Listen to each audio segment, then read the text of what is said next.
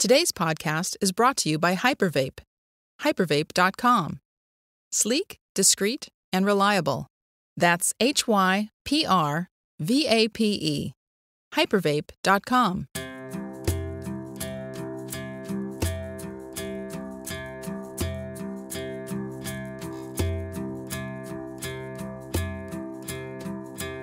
Welcome to the Drift and Ramble podcast. I'm Steve Blizin. Each episode will explore true stories and American legends. From the pages of history and a few stories handed down over the years, we'll look at the people, places, and events that helped shape a nation. Stories of survival, notable frontier men and women, explorers who struck it rich, and the outlaws that stole it from them. There'll be studies of saloon girls, swindlers, banditry, and bad men, profiles of lawmen and American Indians, and the good and evil that existed between them. We'll amble through the past, we'll delve into the folklore of the times, and maybe even uncover a ghost story or two. So, saddle up or settle in for the Drift and Ramble podcast.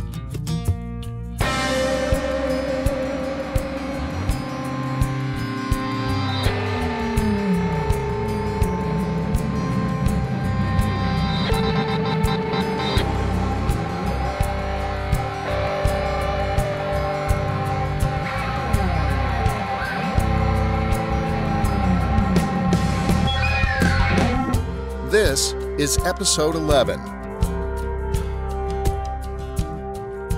We've had a lot of new listeners join us recently, so if you're new to the show, welcome. We look forward to becoming old friends. Today's episode is all about Judge Roy Bean. Judge Roy Bean is one of the most legendary figures in the Old West. His exploits as a cantankerous old coot are well known, often fictionalized, and are highly entertaining. But the truth about this surly saloon keeper is every bit as strange. He was a killer, a thief, a con man, and a corrupt public servant. He beat his wife and lusted after a British actress. He was a scoundrel of epic proportions, and the man known as the law west of the Pecos. He was indeed a quirky character and a tough hombre who favored large sombreros to 10 gallon hats. A man whose reputation grew as big as Texas. Judge Roy Bean has a story that's as wild as the West. Bean, whose first name, like his father's, was actually Phantly, with a PH, was born to impoverished parents in 1825. Growing up in Mason County, Kentucky, Roy Bean left home at age 16. The youngest of five children, Bean set out on a flatboat to New Orleans to find work. His older brother, Sam, had left earlier and eventually wound up fighting in the Mexican American War. After the war, Sam settled in Chihuahua, Mexico, where his younger brother Roy came to join him. In 1848, the Bean brothers opened a trading post in Chihuahua. But it didn't last long. Roy Bean was busy making himself a legend. Dressing the part as a young Mexican charro, Bean preferred the silver conchos and large brim of a sombrero to the traditional American cowboy hat. But the clothes did nothing to camouflage the rough edged American beneath them. In a bar fight, after a Mexican desperado had threatened he wanted to kill a gringo, Roy Bean shot and killed the man. Not wanting to be charged with murder by Mexican authorities, the Bean brothers quickly fled town. By the spring of 1849, Roy had joined another brother, Joshua, in the city of San Diego, where Josh would become mayor the following year. Joshua Bean was San Diego's first mayor, elected in 1850. But the city went bankrupt only two years later, and the government replaced the position with a board of trustees. Meanwhile, the youngest Bean continued to attract attention to himself, this time from the ladies. Considered to be a handsome young man, Roy Bean sought the affections of various women around town.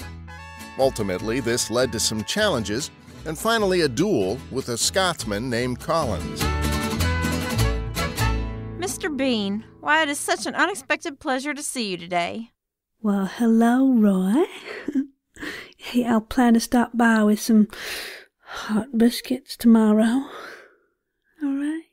Yoo-hoo, Mr. Bean! Can you come help me up on this saddle? Hey, that's my girl there, you scoundrel. Get your hands off of her. I'll challenge you to a duel, you miserable skunk. I'll shoot you dead as a doornail. Beg pardon, sir, but you couldn't hit a bull's rump with a handful of banjos. I accept your challenge, and you'd best bring a friend with you to claim your remains. Oh, and let's make this interesting. I insist we do the duel on horseback. For whatever reason, dueling had been making kind of a comeback in the South and in the Old West, though it had been considered illegal for years, both here and overseas. Whether it was bravado or stupidity, shooting at each other from horseback was far more difficult and improbable than the traditional duel at 20 paces. On February 24, 1852, Bean proved himself to be the better marksman and shot Mr. Collins in the arm. Of course, both men were quickly arrested, jailed, and charged with intent to kill. But while serving his time in jail, Bean continued to receive visits from all his lady friends. They brought him gifts of food, wine, and flowers. Oh, you poor thing, Mr. Bean, cooped up here in this smelly old hen house. I brought you a couple cigars you can enjoy while you wait for these men to come to their senses. Why, Roy Bean, I do declare you are wasting away to nothing here in this old jail cell. Don't these men feed you in here? Well, look, I bought you some nice fresh biscuits and gravy. Mm-hmm. Yeah, put a little, uh, meat on those big, strong bones of yours. Yoo-hoo, Mr. Bean! I brought you something to sip on when you get to feeling parched.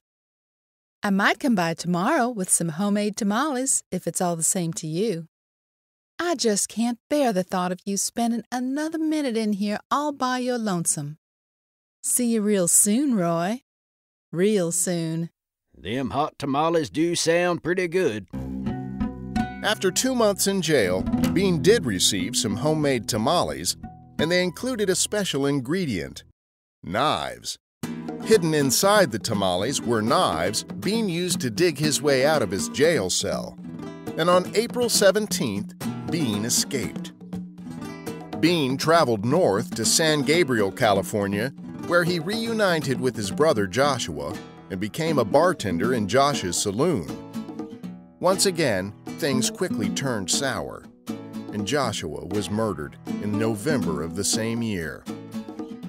Roy inherited the bar, known as the headquarters saloon, and it looked like he might be settling down. In 1854, Bean's penchant for the ladies proved troublesome again.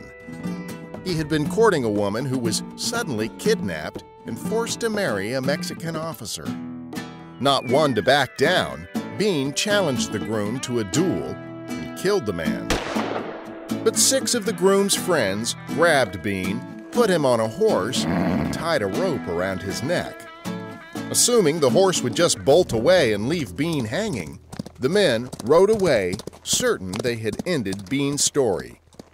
But the horse didn't budge. Then the reluctant bride, who had been hiding behind a tree, cut the rope, saving Bean's life. Bean was left with a lifelong reminder of the event, however, in the form of a permanent stiff neck and a scar from the rope burn around his neck. Bean left California soon after and rejoined his brother Sam in New Mexico, who had since been elected the first sheriff of Dona Ana County. In 1861, Roy and Sam operated a general store that served liquor and had a fine billiard table. At some point, Bean bought himself a cannon, which sat out front of the store. What the heck do you plan to do with that cannon, Roy? Well, it's a conversation piece. Good for starting or stopping one. When a band of Apaches attacked the town, however, Bean's cannon was employed to defend the town, and it persuaded the Indians to retreat. Go on, scat, you red devils. Take some of this gunpowder home to your squaws.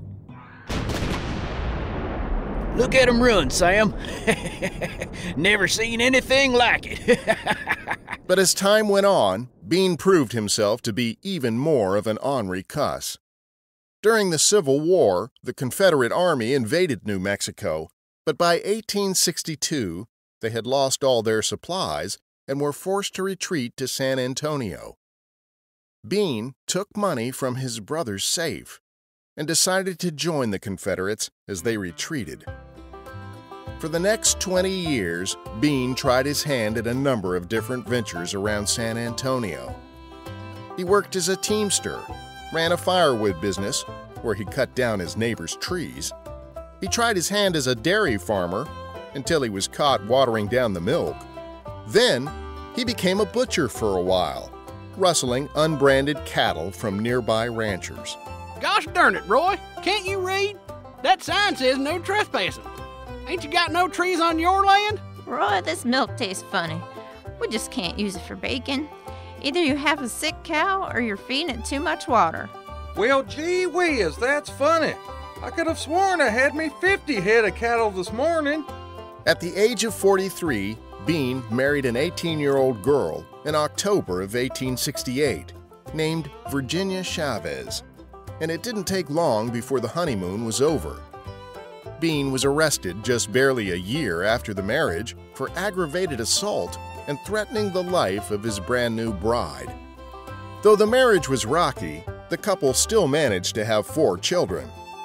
The family lived in poverty in a slum known as Beanville, a situation not all that unfamiliar to how Bean grew up as a child.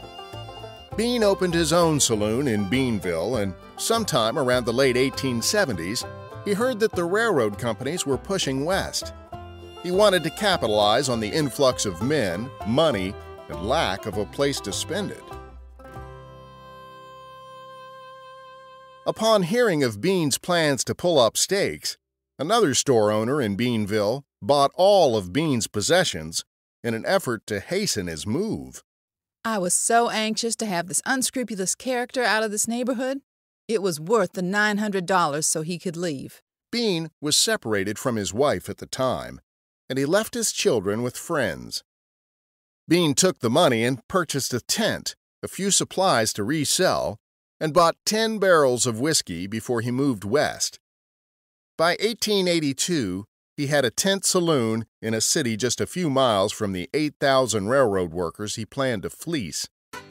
He named the town, aptly, Vinegaroon, a perversion of the Spanish word vinegaron.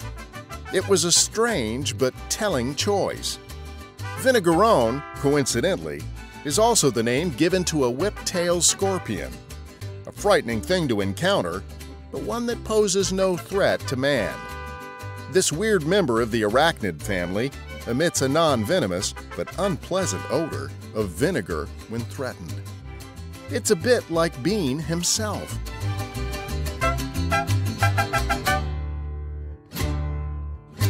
Being 200 miles from the nearest court, a Texas Ranger requested that a local law jurisdiction be established in Vinegaroon.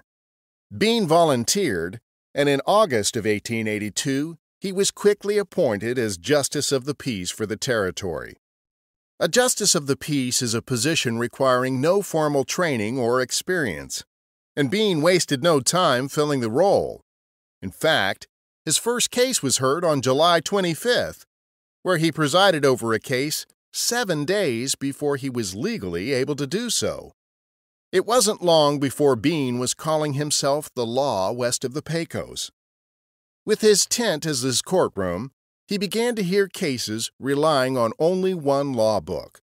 That book was the Revised Statutes of Texas, 1879 edition, which he continued to refer to as his only legal reference for the rest of his career. Some have said that they thought the book may have been upside down as he referenced it.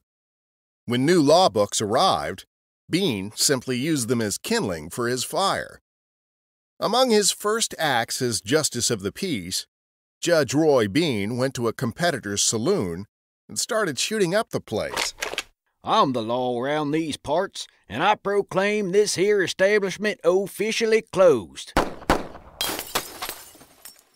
Why, just look at this place. You got holes in the walls and broken glass everywhere. It's just plumb disgraceful. Soon, the shameless self promoter began to exhibit his accelerated eccentricities, starting with his own brand of special courtroom customs. Jurors were chosen from his best barroom customers, and they were expected to buy a drink during every court recess.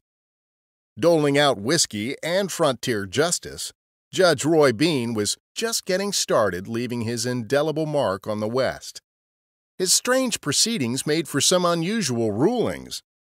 For instance, when an Irishman named Paddy O'Rourke shot a Chinese laborer, the court was quickly surrounded by a mob of 200 Irishmen, all who promised to lynch Bean if O'Rourke wasn't freed.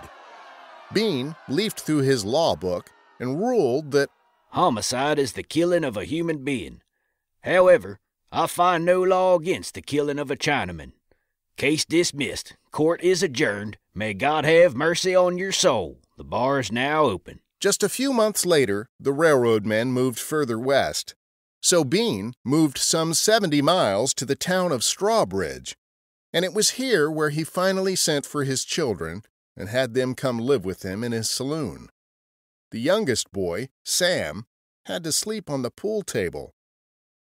Bean wasn't welcome in Strawbridge, however and he couldn't seem to attract any customers. Perhaps it was because a competitor had spiked Bean's supplies of whiskey with kerosene. How about a whiskey there, barkeep? what the hell? I don't know what you call it, but it sure as hell ain't whiskey. It tastes like kerosene. Once again, Bean pulled up stakes and headed to Eagle's Nest, a town 20 miles west of the Pecos River. The original landowner, who also owned a saloon, had sold 640 acres of land to the railroad, with the stipulation that under no circumstances would the railroad lease or sell any portion of that land to Bean. Yet O'Rourke, that same Irishman whose court case Bean had dismissed, told Bean to use the railroad right of way, which was not covered by the seller's contract. And for the next 20 years, Bean squatted on land he had no right to use. Bean named his new saloon the Jersey Lily, after the actress Lily Langtry. Miss Langtry figured prominently in Bean's life, although perhaps at first she didn't know it. Miss Langtry never actually met the man, but their correspondence was rumored for years, with Bean as the primary source of these rumors. You see, Bean had been fascinated with Miss Langtry for a great many years. He wrote her, and she wrote back, so he continued his communications well past the time the actress faded from the spotlight. But if Bean was a character, perhaps Langtry was too. Born Emily Charlotte Le Breton in October of 1853, Miss Langtry's sudden rise to fame as the Jersey Lily happened during a strange series of events. Already an accomplished actress, Langtry was known only locally. At the age of 20, Emily married a wealthy Irish landowner named Edward Langtry. However, Mr. Langtry turned out to be far less wealthy than he first appeared to be, and her family despised the man. After her brother's death in 1877, she fell into a deep depression. A wealthy friend arranged an invitation to a social event attended by a number of prominent artists and literary figures. While still in mourning over her brother's death, she wore a simple black dress and no jewelry, and she isolated herself in the corner of the room, hoping not to attract any attention. However, her stunning beauty and poise had just the opposite effect. Among the guests was Frank Miles, an artist who had known of her work in the theater and was already smitten with her. He had made several sketches of her during the evening, and he boasted of her beauty to everyone he met. Within a week, The Langtrys were overwhelmed with social invitations. Miles' sketches had been sold, and photographers and painters were clamoring for her to model for them. One of these portraits was called A Jersey Lily by John Everett Millais, which became very well known, and the nickname Jersey Lily stuck. Lily Langtry became the name by which she would become world famous. Her picture soon found its way to the American West, while Miss Langtry herself found her way into the beds of royalty. Langtry's marital dissatisfaction was no secret, though she remained married for many years. She was linked to affairs with the Prince of Wales, and eventually that led to a cordial relationship with Queen Victoria and her daughter Alexandra. She was also romantically linked to the Earl of Shrewsbury. And through all of this, Edward Langtry remained her faithful husband. But prudish she was not. In a quote attributed to Langtry and the Prince of Wales during their affair, Maggie McNeil of the Honest Courtesan website states that during a spat the two lovers once said, I've spent enough on you to build a battleship. And you spent enough in me to float one. Among her close friends was the famous author, poet, essayist, and playwright Oscar Wilde, who helped Miss Langtry rocket to stardom. One might, by now, be wondering why Miss Langtry would even consider communications with the likes of Judge Roy Bean. Perhaps she hadn't known the shabby circumstances of Bean's court and of the desolate location of his saloon. Nevertheless, Lily Langtry began to tour the international theater circuit, which brought her as close as San Francisco during the life and time of Judge Roy Bean. She purchased a winery here in the U.S. in 1888 in Lake County, California. In 1897, she became an American citizen, and later that year, she used her land and her citizenship as evidence in the divorce of her husband. Meanwhile, Bean continued to write Miss Langtry and professed his adoration in remarkable ways. Perhaps he felt the need to be noticed among the many suitors Miss Langtry was rumored to have bedded. So, as a gift, Bean sent the woman a live caged bear, which fortunately escaped the moment the cage was opened to reveal its contents. Package for you? It's from a judge named Roy Bean. Oh, wonderful, wonderful. Be a dear and open it, would you, darling? Oh! Maybe that's the reason we think girls like teddy bears when we court them today. Miss Langtry was an iconic figure in the American West for a time. Touring the playhouses in San Francisco and visiting the mining camps nearby, her likeness adorned posters and postcards, and impersonators and imposters soon joined the fray. Though it's doubtful that Langtry took Bean's communications as anything more than fan mail, Judge Roy Bean was smitten though by today's standards it might be considered stalking. Coincidentally, Bean's Saloon was located in the town of Langtry, Texas, but the town was named after an unrelated engineer named George Langtry.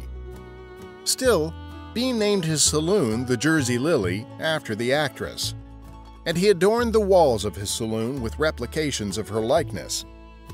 He continued to brag of their correspondence to anyone who would listen and of course, he continued to build on his legendary status. Bean dispensed his brand of justice with a wry sense of humor, and he ran his saloon with profit as the primary goal. It's been said he sold grizzly bear semen as an aphrodisiac. He had a large sign advertising iced beer outside the saloon, but the ice was just a piece of glass he would put in the bottom of a glass and use over and over again until one day he dropped it and it broke. Allegedly, he kept a severed head in a pickle jar, which apparently fell and broke during an earthquake in 1906. He kept a bear named Bruno chained outside on the porch of his saloon for a time. In movies and in books, Bean is often portrayed as a grisly, dispassionate, hanging judge. But this is untrue. The man only sentenced two people to hang, and one of them escaped before they got the noose around his neck. Langtry had no jail, so most of Bean's rulings were fines. Though required to do so, Bean never sent any money from these fines to the state. Instead, he kept every nickel for himself, often setting the fine for exactly the amount of money the person had on them. Bean's brand of justice was often hilarious. In one instance, he threatened a lawyer with hanging for use of profane language when the hapless attorney referred to the habeas corpus of his client. When a dead body was found on the edge of town, the cadaver was searched and found to be in possession of $40 cash and a pistol. When Judge Roy Bean was made aware of the circumstances, he fined the dead man $40 for carrying a concealed weapon and confiscated the pistol. In another case, he overruled a Texas Ranger's request that carrying firearms in public be banned in the town of Langtry. Bean ruled that carrying a firearm was legal because when a person was standing still, they ain't carrying a gun, they're holding it. And when they're moving, they're traveling through which is legal, and therefore it's legal to keep your damned firearm. Case closed. May God have mercy on your soul. The bar is open. Bean closed every ruling and ceremony with that exact same phrase, including weddings and divorces, which technically he had no authority to preside over. Still, Bean performed $5 weddings and $10 divorces frequently. With the power so vested in me, I now pronounce you man and wife. You may kiss the bride. May God have mercy on your soul. Case closed. The bar is open. In 1890, Bean heard that wealthy railroad developer Jay Gould was going to pass through Langtry. So Bean flagged down the train with the danger signal. Thinking the bridge was out, the train engineer stopped the train in a panic. Bean climbed aboard and calmly invited Gould and his daughter to visit the Jersey Lily Saloon as his guests. They did, but the resulting two hour delay of the train caused a brief panic on the New York Stock Exchange when it was reported that Gould had been killed in a train crash. By the 1890s, Bean's irascible, cantankerous courtroom antics had made him a living legend. Travelers passing through Langtry often made a point of stopping to visit the dismal shack from which Bean dispensed frontier justice. Often they'd find him behind the bar or waiting on the porch, thinking of ways to relieve them of their money. Bean's national notoriety hit an all time high in 1896 when he organized a World Championship boxing title bout between Bob Fitzsimmons and Peter Maher. Although boxing was considered illegal in Texas and Mexico at the time, Bean reasoned that a tiny island in the middle of the Rio Grande was neither part of Mexico or Texas. The fight only lasted 1 minute and 35 seconds, but when Fitzsimmons won, it made national news and the infamous Judge Roy Bean became a household name. In the final years before his death, Bean spent much of his profits on the poor, helping to feed them and ensuring that the schoolhouse always had firewood in winter. Maybe the man had a soft spot after all. Bean fell ill during a visit to San Antonio after a bout of heavy drinking. He returned to Langtry and died on March 16, 1903. Just 10 months later, Lily Langtry came to visit the famous saloon named in her honor. In his will, Bean left Lily Langtry his pistols, which she then donated to the town of Jersey, and they may even still be on display today. The Drift and Ramble podcast will continue after this. Come on, Billy. Let's ride out after them bandits that robbed the train. Hang on a second, Clem. My vaporizer won't charge. Now how am I gonna have a smoke? Well, Billy, it looks like you should have chose Hypervape. When it comes to e-cigarettes, why settle for something you picked up in the back of a saloon? But Clem, I spent a lot of money on this thing. How much you spend isn't how you measure quality. You measure quality through reliability, longevity, and value. Like this old horse your mom sold me. Gee, I guess you have been riding her a long time. You mean this horse or your mom? Why don't you mosey on over to hypervape.com and place an order, Billy? Old Paint and I will catch up to those bandits. Remember, hypervape.com. Sleek, discreet, and always reliable. That's hypervape.com. Where outlaws and good guys find quality. Yoo-hoo, Mr. Bean! Thanks to Audioblivious Productions and their cast for helping me bring this episode to life. It's amazing to have their support, and I'd like to thank the following individuals for lending their voices to our show Austin Beach as Judge Roy Bean, Drew Profit as Sam Bean in The Delivery Man, Mike Jansen as the Scotsman in The Prince of Wales, Scott Phillips as neighbor number three in The Bar Patron, Sarah Golding as woman number two and Lillie Langtry, Danielle Reese as woman number one and neighbor number two, Jeremy Hennessy as neighbor number one, and our very own Cheryl Blizen as the third woman and the Beanville storekeeper. I'd like to thank all the people and podcasters who are part of the Podern family, too. Podern Family is a great way to find new podcasts simply by searching for the hashtag Podern Family. You'll find shows ranging from full cast comedy and audio dramas like Audioblivious Productions' Winnebago Warrior, The Tale of John Waynaby, whose cast appeared in this episode, and you'll find other hilarious comedy podcasts like Super PP Time, Tattooed Bananas Podcast, The Mike Jolitz Show, as well as our personal favorite, The Unwritable Rant with Juliet Miranda. And these are only a few of the many excellent podcasts you'll find with the Podern Family hashtag. In our last episode, we began reading reviews that listeners left for us on iTunes. We love to hear from you, and leaving a review for us on iTunes or Stitcher is a great way to show your support or leave feedback for your listening experience. This time, I'd like to read one of my favorite reviews from Jeff Mack is here. Came across this podcast via the Podern Family hashtag on Twitter. I love it when you hear a podcast that isn't like anything else out there. Informative, fun, totally fascinating, loving it. Thanks for those kind words. We really appreciate it. Getting your feedback makes it all worthwhile. If you'd like us to read your review on an upcoming episode, leave us a review on iTunes or Stitcher. Hi, this is Cheryl. Your feedback is important to us. If you have a comment or suggestion, we'd really love to hear from you. You can contact us through our website, that's driftandramble.com. You'll see a listener survey button on every page, and we'd really appreciate your input on the survey. Please take a few moments to complete it, and you'll have our thanks in return. Coming up on the next Drift and Ramble podcast, we'll hear from one of the West's most iconic figures.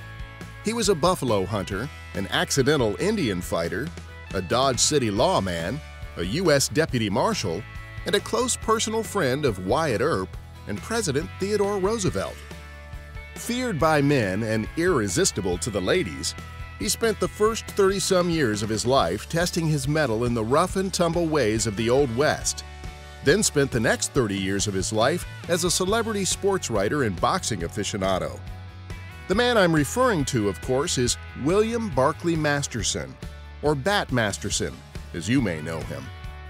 We'll get a glimpse into this man's life in the Old West and how he transitioned as the Old West began to fade from the spotlight. The Drift and Ramble podcast is a Clear Voice Media production, hosted and produced by Steve Blizen, with segment research and voice acting by Cheryl Blizen. Additional contributions and content have been made possible by support from individuals dedicated to the art and science of storytelling and exploring the still fertile promise of the American West. Well, how do you like it? All he's done so far is talk, and, and not with any real enthusiasm. Yes, that's what I thought. Not so good. I shall never forget it. We don't have any specific information, but it's very bad. This is getting real interesting. But uh, isn't that almost impossible? Even Stephen. But even the impossible can happen. What's the matter? you don't feel like talking? Then you better pray. Americano.